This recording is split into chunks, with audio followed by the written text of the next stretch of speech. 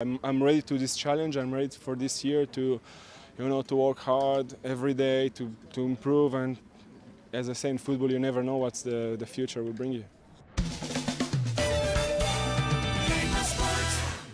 So what a great first impression you make for your new club during this match. Tell us about it. First, I'm very happy that uh, I managed to, to play well. Obviously, those uh, pre-season games are here to, to make us uh, ready for the season. We want to see some stuff. We want to improve in a lot of aspects, and I think we showed some uh, good things today. And I'm happy that I played my part, and that's the most important thing. How have you landed in the in the Netherlands? How has it been your first days, um, more than a week now? Uh, very good, to be fair. Like uh, the the boys got me very well.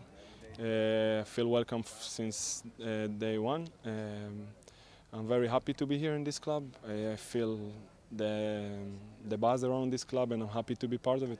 What makes made you decide uh, to join Feyenoord?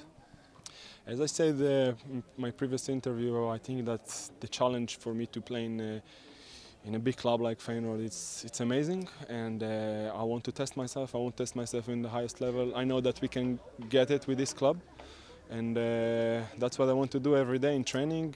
When I, when the teams need me in the games, I will always be there. That's my my ambitions, and that's my target, and and that's it. Odds are, of course, that you are the second goalie behind Justin Bijlow. He is, he is the number one at Feyenoord. How do you uh, set yourself also in your mindset for, for a role as a second goalie? Yeah, obviously, um, always all my career I played as a first goalie, so I know it's a, it's a bit uh, different this year, but uh, I, I, accept the challenge. For me, it's not about first, second. It's for me, it's to come every day to training to to be as best as I can. It's a great opportunity for me to train in high intensity every day, every day and improve myself. And who knows? You never know what's happening in the future. But I will always try to be my best and always try to be good for the team when the team needs me yeah, but you you said you always were a first goalie. Uh, does it take some mental adjustment to, to, to play the part that you play now? Your football is based on mental. If you don't have the mental side of football, you don't have chance. And I know that this is something that you need to accept. Some periods in your career, you need to to sacrifice some things to to, to get to bigger achievements.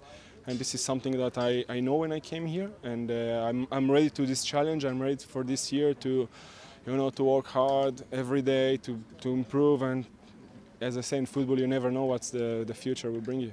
Yeah. And are you penalty killer? Is that the first thing we can use to describe you from now on? Oh, that's good. I'm happy that I left this impression uh, in my first game. So uh, I hope that I'll manage to save some more this year.